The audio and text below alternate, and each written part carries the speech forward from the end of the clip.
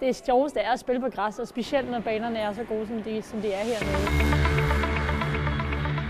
Vi har glædet os længe. Det er jo efterhånden et par måneder siden, vi var samlet sidst.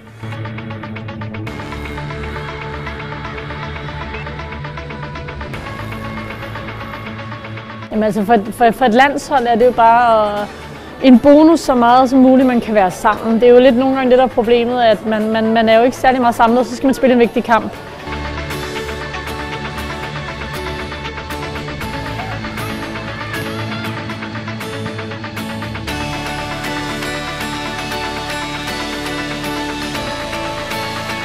Jeg forventer, at man kan bruge sådan en træning sammen som den her på at få nogle aftaler på plads, på planet, øh, på trænet nogle detaljer, øh, forbindelserne imellem og connection. Øh, det er vel sådan nogle ting, man kan få lidt på plads, når man, man er på en, en træningstur. Det, selvfølgelig kan man se, de i gang med en opstart, øh, så derfor er de jo ikke i nødvendigvis fysisk øh, topform, men de er i hvert fald i en bedre udgave, end de var sidste år på samme tid.